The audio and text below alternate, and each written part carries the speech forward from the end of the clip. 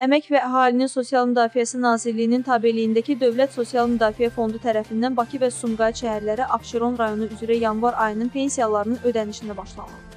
Nazirlikdən verilən məlumata görə bu üç şəhər və rayon üzrə bütün pensiya vəsaitlərinin pensiyaçıların hesablarına köçürülməsi prosesi bu gün ərzində tam yekunlaşacaq. Vətəndaşlar pensiyalarını onlara verilmiş bank kartları vasitəsilə müvafiq bankların bankomatlarından əldə edə bilərlər.